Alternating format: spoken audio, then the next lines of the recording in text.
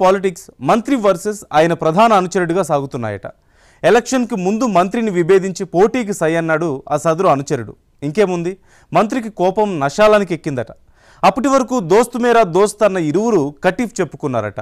భూ కబ్జాలు బెదిరింపులు అక్రమాలు అంటూ పదుల సంఖ్యలో మంత్రి మాజీ అనుచరుడిపై కేసులు నమోదవుతున్నాయట. మరి ఇంతలా ఇద్దరి మధ్య గ్యాప్ అసలు ఎందుకు వచ్చింది? ఎక్కడా నియోజకవర్గం ఏంటా కదా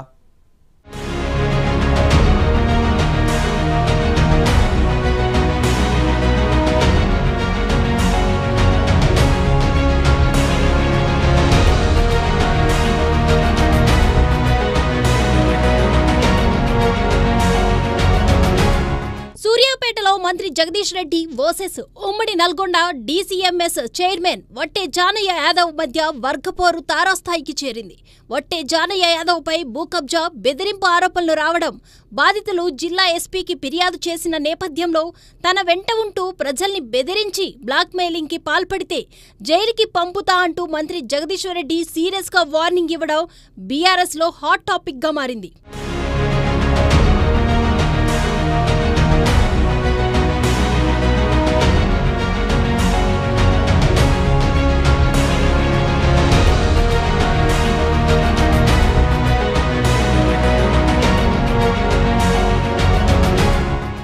మంత్రి జగదీష్ రెడ్డి ప్రధాన అనుచరుడు ఉమ్మడి నల్గొండ డీసీఎంఎస్ చైర్మన్ వట్టె జానయ్య యాదవ్ పై గత కొద్ది రోజులుగా భూ కబ్జా బెదిరింపులకు పాల్పడినట్లు ఆరోపణలు రావడంతో పాటు తాజాగా నలభై రెండు మంది బాధితులు సూర్యాపేట జిల్లా ఎస్పీకి ఫిర్యాదు చేసి అనంతరం రోడ్డెక్కి న్యాయం చేయాలని ఆందోళనకు దిగారు. ఈ నేపథ్యంలో మంత్రి జగదీష్ రెడ్డి చేసిన కామెంట్స్ బీఆర్ఎస్లో కాకరేపుతున్నాయి. తన వెంట ఉంటూ ప్రజల్ని బెదిరించి బ్లాక్మెయిల్కి పాల్పడితే జైలుకి పంపడానికైనా వెనుకాడబోనని మంత్రి జగదీష్ రెడ్డి సీరియస్గా వార్నింగ్ ఇవ్వడం హాట్ టాపిక్గా మారింది. సూర్యాపేటలో ఓ కార్యక్రమంలో పాల్గొన్న మంత్రి అక్కడ జరిగిన మీటింగ్లో ఘాటుగా స్పందించారు. బీఆర్ఎస్లో చేరేవారు గతంలో ఉన్న పార్టీలో చేసినట్లుగా తన దగ్గర చేస్తే కుదరదన్నారు. శాంతి భద్రతలకు విఘాతం కలిగించే వారిని జైలుకి పంపుతానని ఆ సంగతి పార్టీలోకి వచ్చిన వారికి ముందే చెప్పానని అన్నారు. ఎవడైనా రౌడీయిజం గూండాయిజం చేస్తే సహించేదే లేదు. తొక్కి నార తీస్తా అంటూ హెచ్చరించారు. నగేష్ ఏంది ఏం మాట్లాడినవట అని అనేటోడు ఉండ? ఇప్పుడు ఎవడన్నా ఫోన్ చేసి? సాయంత్రం? ఎవడన్నా చేస్తే చెప్పురి. తొక్కి నారా తీస్తా. ఎవడన్నా రౌడీజం చేస్తే గుండాయిజం చేస్తే. నేను నా ఎమ్మటి వాళ్ళనే సహిస్తలేను మంది భూములు ఆక్రమిస్తే మందిని ఇబ్బంది పెడితే నా ఎమ్మటిలోనే జైలు పంపిస్తా ఉన్నా. చెప్పినా నేను. చేరేటప్పుడే చెప్పినా. మీరు ఆ బడి నుంచి వస్తున్నారు ఆ బల్యపాటలన్నీ వేరే తిరుగుండే మీ ఇన్నేళ్ళు. కానీ ఇవాళ నా దగ్గరికి వచ్చినప్పుడు నా బడి పాఠాలే చదవాలి తప్ప ఆ బడి చదివిన చేస్తే మర్యాద ఉండదు. తీసి అవతల పడేస్తా అని చెప్పిన. సూర్యాపేట నియోజకవర్గంలో జరుగుతున్న తప్పిదాలను ఎత్తి చూపడంతోనే తనపై మంత్రి జగదీష్ రెడ్డి తప్పుడు కేసులు పెడుతున్నాడని తనను జైలుకి పంపి లబ్ధి పొందాలని చూస్తున్నాడని ఆరోపించారు ఒట్టే జానయ్య. ఎస్సీ ఎస్టీ వాదాల్ని ఎత్తుకోవడం వల్లనే తనపై అక్రమ కేసులు బనాయించారని ఆరోపించారు. ఏడు ఎనిమిది సంవత్సరాలు మంత్రితో కలిసి పనిచేశానని కానీ ఎన్నడూ లేని విధంగా ఒకే రోజు డెబ్బై కేసులు తనపై పెట్టించిన మంత్రి జగదీష్ రెడ్డికి ప్రజలు తగిన బుద్ధి చెప్పాలని తనపై పెట్టిన కేసుల్లో నిజాయితీ తనపై చేస్తున్న ఆరోపణలో నిజముంటే తాను ఏ శిక్షకైనా సిద్ధమన్నారు జానయ్య. ఏడెనిమిది సంవత్సరాల నుంచి గౌరవ మంత్రి గారితోనే రాజకీయ చర్య చేస్తా ఉన్నాం. మరి ఎన్నడూ లేని విధంగా ఒక్కటే రోజు డెబ్బై అరవై డెబ్బై కేసులు నా మీద మోపడం అనేది నిజంగా హాస్యాస్పదం.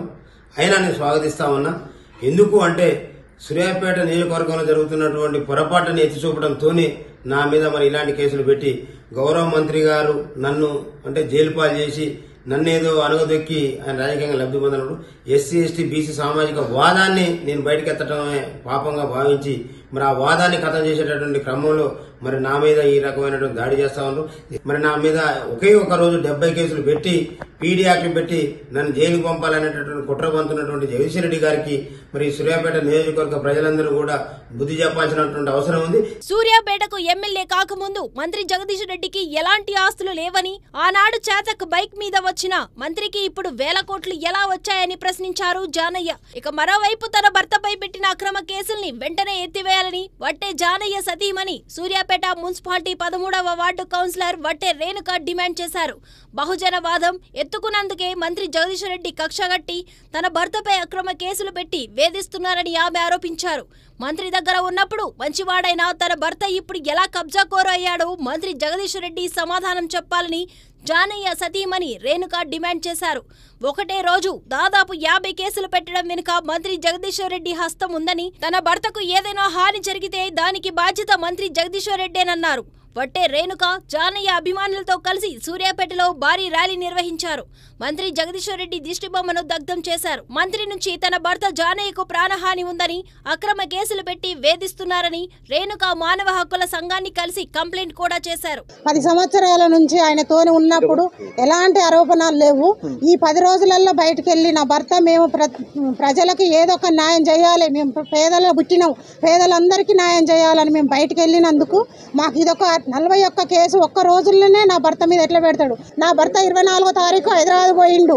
యాదవ్ల యుద్ధ పేరుకి ఇరవై ఐదో తారీఖు రోజు అక్కడ సభ జరుగుతుంది. ఇరవై ఐదో రోజు ఇక్కడ ఉన్నాడు వేరేటోళ్ళ మీద అత్యాచారం జరిగిందని నా భర్త మీద కేసు పెట్టిండు. అదే నిజం ఉంటే బయటికి రమ్మనండి. మేము సిద్ధంగా ఉన్నాము.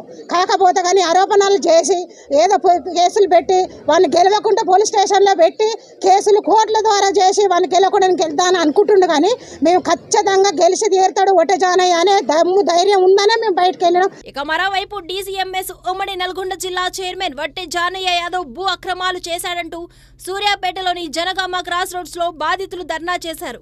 వట్టి జానయ్య యాదవ్ నుంచి తమకు ప్రాణభయం ఉందని ఆరోపించి బాధితులు రోడ్డుపై రాస్తారోకో చేపట్టారు. జానయ్యపై సూర్యాపేటలో జిల్లా ఎస్పీకి నలభై మంది భూ బాధితులు ఫిర్యాదు చేయగా అక్రమంగా తమ ఫ్లాట్లను కబ్జా చేశాడని బెదిరింపులకు గురి చేస్తూ తమ సంతకాల ఫోర్జరీ చేసి వ్యవసాయ భూములను సైతం ఆక్రమించాడని ఫిర్యాదులో పేర్కొన్నారు బాధితులు. నయంను మించి ఒట్టే భూ కబ్జాలకు పాల్పడ్డారని అక్రమ ఆస్తులకు కూడబెట్టుకున్నారంటూ కూడా ఆరోపించారు. ఇప్పటికైనా అధికారులు స్పందించి తమకు న్యాయం చేయాలని అతని నుంచి అతని అనుచరుల నుంచి తమని రక్షించాలని ఎస్పీని కోరారు. వట్టే జానయ్య యాదవ్ పై నమోదైన కేసులకు సంబంధించి దర్యాప్తు వేగవంతం చేశారు సూర్యాపేట జిల్లా పోలీసులు. పెండింగ్లో ఉందని అప్పుడు అడ్డుకున్నారు. ఏరువట్టే జానయ్య గారు. మళ్ళీ ఆ తర్వాత కూడా మాకు న్యాయం కావాలని మళ్ళీ వెళ్ళాం. తన దగ్గర కూడా వెళ్తే వేరే దగ్గర ఇప్పిస్తలేం. మాది కోర్టులో ఉంది మీ డాక్యుమెంట్స్ తెచ్చియండి అది ఇది అని చెప్పారు.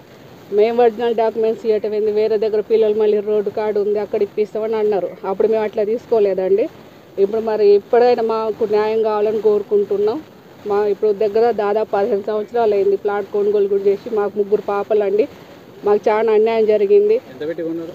అప్పట్లోనే ఫార్టీ ఫైవ్ థౌజండ్ అయిందండి. పునాది గాడి కొట్టించిన తర్వాత గాడి కొట్టడానికి వీలు లేదు నువ్వు అసలు ఉండవు. నా నా భార్య నేను వచ్చిన వచ్చిన తర్వాత అలా ఉండొద్దని కారు వేసుకొని వచ్చిండు. ఫ్లాట్లకు కారు దించాడు. కారు దించి మీరు ఇక్కడ ఉంటే బాగుండదు మీరు మర్యాదపూర్వకంగా ఉండదు మీరు ఇక్కడ ఉండలేరు అని చెప్పేసాడు. చెప్పేసి బెదిరించాడు. బెదిరించిన తర్వాత తర్వాత మళ్ళీ కొన్ని రోజులకి మళ్ళీ పోయినాం. మళ్ళీ పోయిన తర్వాత ఏం చేసినా అటు తీసుకున్నాం. రెండు వేల పద్నాలుగులో తీసుకొని మళ్ళీ చేసినాం. చేసిన తర్వాత రాళ్ళు బాతినాం మళ్ళీ రాళ్ళు పోయి చేసాం ఇట్లా దౌర్జన్యంగా చేస్తున్నారు. ఇలాంటి దౌర్జన్యాలు జరగకూడదు. చూశారు కదా ఆల్మోస్ట్ ముప్పై ముప్పై రెండు మంది పిటిషన్లు ఇంకా ఐదు పిటిషన్ పెండింగ్ ఉంది వాళ్ళు రాస్తున్నారు. కొంతమంది వాళ్ళ పిటిషన్లతో పాటు డాక్యుమెంట్స్ ఒకటి ఇచ్చారు పిటిషన్ ఇవ్వకుండా. మన సూర్యాపేట జిల్లాలో పలు ప్రాంతాల్లో ముఖ్యంగా Gandhinagar Suryapet town housing board colony Thungathurthi constituency నుంచి గానుగవండ్ల అన్నారం గోరంట్ల ఇట్లా వివిధ ప్రాంతాల నుంచి చాలామంది ఫిర్యాదుదారులు బాధితుల బాధితులై ఇట్లా ఒట్టజనయ్య గారు మాకు మా భూములు ఆక్రమించారని కొంతమంది ఫేక్ డాక్యుమెంట్స్ క్రియేట్ చేశారని కొంతమంది చీటింగ్ చేశారని కొంతమంది ఇట్లా వివిధ రకాలుగా వచ్చి ఈరోజు పిటిషన్స్ ఇవ్వడం జరిగింది. ఇప్పటి వరకైతే నలభై వరకు వచ్చినాయి పిటిషన్స్. అండ్ ఫర్దర్గా ఏమంటూ చూస్తాం. అంతవరకు అయితే will go at the proper investigation of the cases petitions which are been given to us by the public ఎన్నికలు సమీపిస్తున్న తరుణంలో మంత్రి ఆయన అనుచరుడి వర్గపోరు రచ్చకెక్కడం జిల్లాలో హాట్ టాపిక్గా మారింది. రానున్న రోజుల్లో ఏం జరుగుతుందో అన్న ఆసక్తి అందరిలోనూ నెలకొంది.